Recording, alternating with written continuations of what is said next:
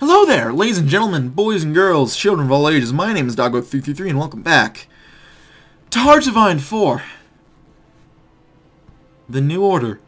Don't surf. I caught myself that time. I didn't say Kaiserreich. I did not say Kaiserreich.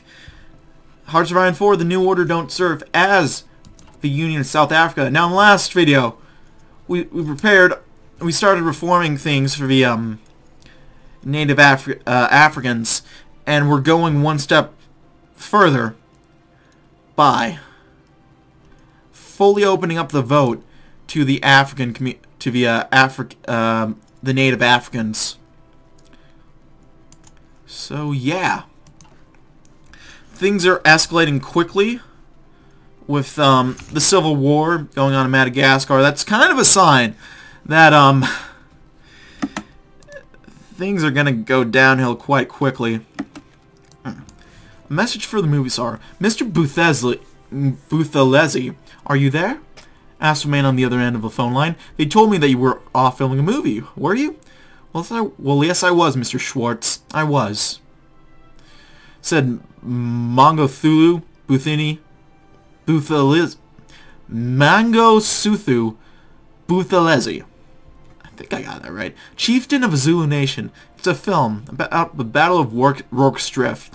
I'm playing my great-grandfather, King Cetshwayo. They're making me stand around with a bunch of extras out here near the amphitheater, so what's the matter?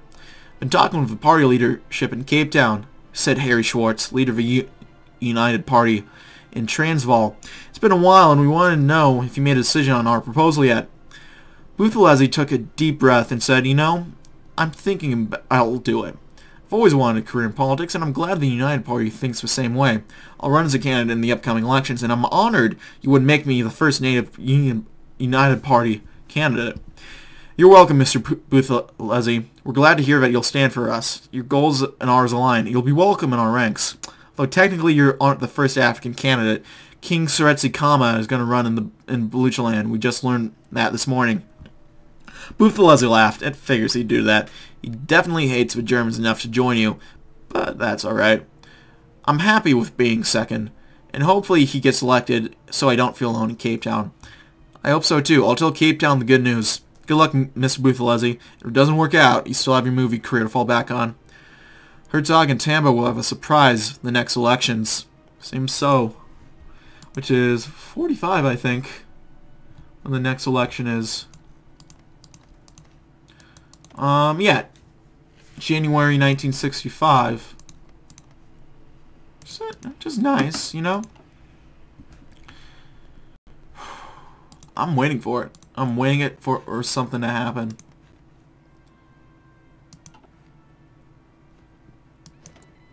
Ooh, no divisions in basic training. We can finally train some guys. Nice! Um...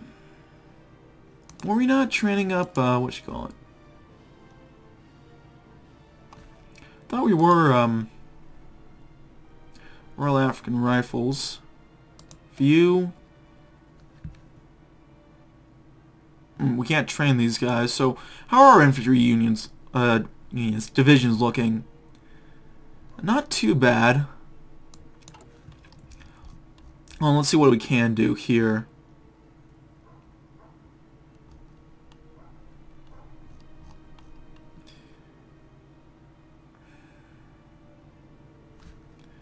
Let's check. Where is it? Logistics. Um, we have some guns available, not too much. Let's um, let's buy some Pact guns or some OFN guns, and see if we can't um prepare covert stay behind forces.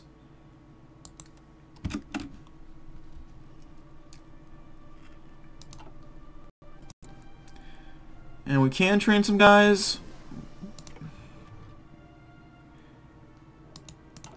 Hmm. Do we want to? That's a question. Um, Operation Assegai will consist in the formation, financing, arming, and training Triggerman assets in covert resistance activities, including assassination, political provocation, and disinformation. Small-scale operations may cover discrete areas and counter subversion of host, but larger cells stay behind and envisage, reaction to a Crusader operation of fields. Assegai assets will be supplied with arms and explosive cache caches, context on Annex 2-2.A, to slow down Crusader troops from reaching the Cape while Torch prepares joint deployment. Understood. I have to hope that um the Americans can help us get out um enough to get out of this mess. I've already done well enough, but you know, every little bit helps. Well, I mean, Hitler can only stay alive for so much long, longer. So we'll have to wait and see. Votes for all the folks. Now we just have to work on this. Reboot for diplomats. As expected, both the USA and the Reich have tried to make us join their alliances. With the old order crumbling with every day, they are trying to strengthen themselves for becoming Storm and are enlisting all possible help. Predictably, our envoys have returned from their missions carrying truckloads of officers, proposals, help promises, and subtle threats to ensure we choose one of them over the other. Of course, we do no such thing. Our neutrality is paramount for our survival, as we are too divided within to uh, be able to properly fight an outside enemy. Therefore, we shall politely refuse all their offers, and remind them that we have a policy of open doors towards everyone. In addition, we'll let slip that, should any of the great powers try to meddle in our internal affairs too much, we would be forced to seek aid from the others. I like it. It's not very subtle, but it lets them know. Um, what do you want to... Let's do both of these, actually. Lower their anger as much as we can. I'm not entirely sure if um, supporting the pact helps um, become stronger, actually. 4 to 12, 3 to 21, 8 to 21. So they might end up outnumbering us, which would not be good. Oop. Votes on the vote. The first step was to find out who would be assigned to the case. The Supreme Court of South Africa had various local levels, but this one would be heard at the Appellate Division in Blo Bloemfontein. A number of judges served in the division, but the cases were heard by a panel of five judges. Once the judges who would hear the case were identified, the courting could begin. It was obvious that one of the judges would rule the way they wanted. They had a case history and opinions that pointed to a view that suited with the United Party. Thus they were ignored or completely since they were confident that they could rule the way they wanted. There were bigger concerns. The second judge was a little vaguer on the side they supported. They had some opinions that looked good for the outcome, but had some that didn't. A private conversation, however, gave plenty of confidence that they would rule favorably for the side they wanted. So now they had two. The third was the, touch, the toughest. They had, a, they had doubts about the merits of the case and wanted to rule against it. This couldn't happen under any circumstances. It took a long time with plenty of conversation, but they were finally convinced of its merit. A new courthouse in their hometown being named after them would be officially unrelated. But fourth was a judge that was favorable to the side of the government the, the government wanted. They weren't on the case originally, but some strings were pulled and they got in, mostly to make sure they were covered if any of the other three went back on their ward. So when the Appellate Division met in Bloemfontein to decide on voting rights for neighbors, the United Party could relax a large amount. Sure, officially the decision would be made after the arguments, just like all other cases heard by them. But that wasn't how things really worked. And the government could already celebrate a great legal victory when the court convened. And here we go. Universal voting, ladies and gentlemen. Where's the voting? Political laws. Very nice. Um, yeah. This um, we have a lot. We have a lot of manpower actually. Holy crap. Ooh. Nobody expected the prospect of mass enfranchisement of the largest ethnic group in South Africa to be popular with everyone, especially with the ethnic group that had the most to lose in terms of political power. The protests in Bloemfontein that day weren't peaceful if heated were peaceful, if heated. There were plenty of angry chants, but most of the demonstrators tried to avoid any hostile encounters with the police. Many were content to chant with their families and march under the veil lure, the Vierkleur, and perhaps enjoy a barbecue. Only a few of the initial demonstrators carried weapons, and the police hoped that all, all the large crowd of protesters would change that way. That changed when the mob began to rock cars back and forth, with the di disturbance attracted the attention of the police officers. An armored van smashed through the outer gate and the garage gate. It was uh, followed by a large group of Afghan paramilitaries. The sudden attack overwhelmed a small number of guards inside the building. Proceedings were immediately cancelled as the occupants tried to clear out, but it was too late. The courtroom staff hid in various rooms as the Boer commandos painted slogans on the walls, urinated over furniture, and harassed the court members they found. Police rushed the scene but the amount of demonstrators prevented them from making a timely entrance. When they finally arrived, the commanders were firmly in control of the building. They had men with sidearms out front, snipers with rifles on the upper floors, and a vernacular flag that had been on the streets now flying in the place of a South African flag. Send all necessary officers. We have a code red priority Bloemfontein. Shit. Shit just got real, guys.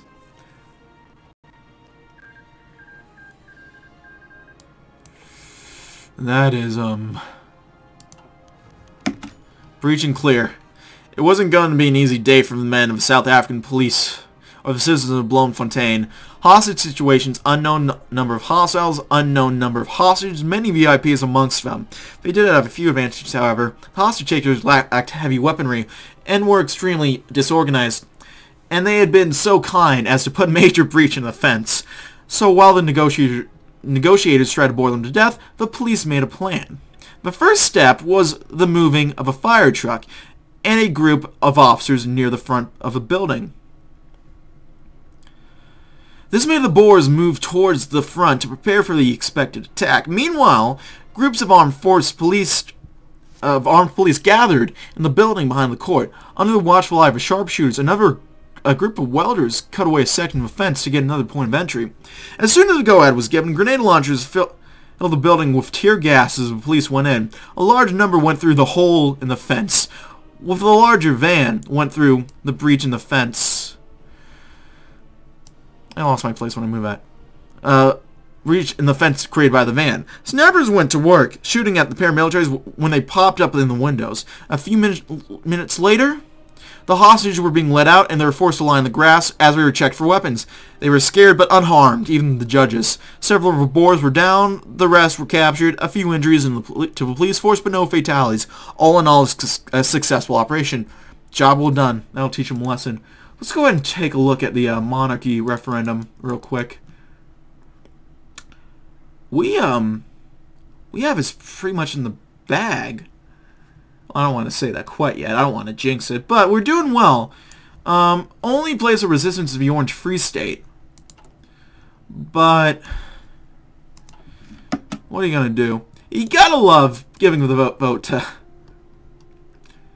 the African American minority to help your political cause. We gotta love how that works. Politics at its best. Did I say African American? I I might be an. If I said African American, I apologize. I'm a dumbass. African. I'm. I'm used to saying African American. Uh, fortify just in case. It's become clear to us that the world is on the brink of another major crisis, and our neutrality may serve us very little, as it did for Belgium and the Netherlands during the last war. Perhaps we should do something more to ensure that we have a chance of survival in case the Germans march south. The South African Defense Force High Command has proposed to us a plan to protect ourselves against the rabid wolves encircling us. A ring of defenses will be built alongside our northern border, coupled with a fortified perimeter around the Cape, where we will have our last stand with our backs against the sea. Some may call some call our concerns unfounded, and the plan will be a mere waste of money, but it can begin the salvation of our country if the Panzer's armored wheels start spinning. Sounds wise. It's probably the the move, honestly.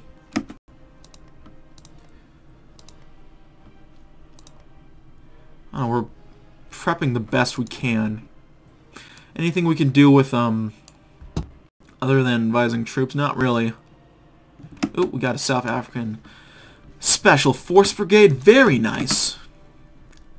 Let's see where this guy goes. Um, on the border with the Orange Free State in uh, Masario. Smart, honestly. Get behind that. Hmm.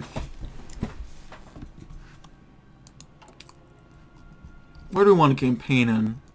Do you want to do some last minute campa campaigning?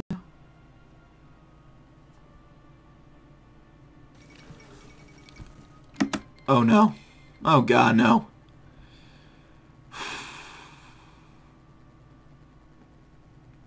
They did it, guys. No good. Nope.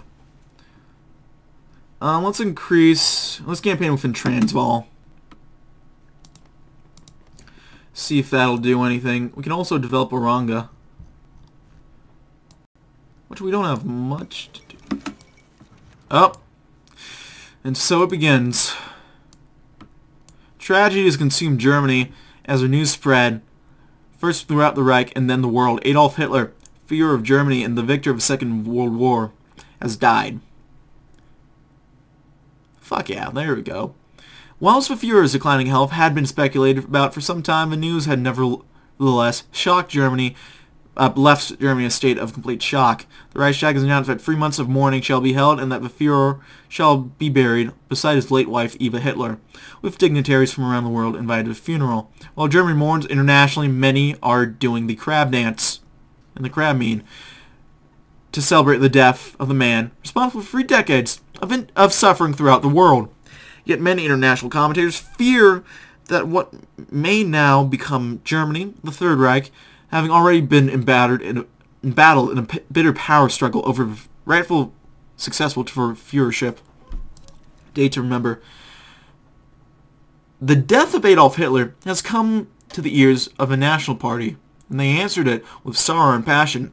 The call of Hertzog. Members of the party are come together so they may hold a vigil for the Führer.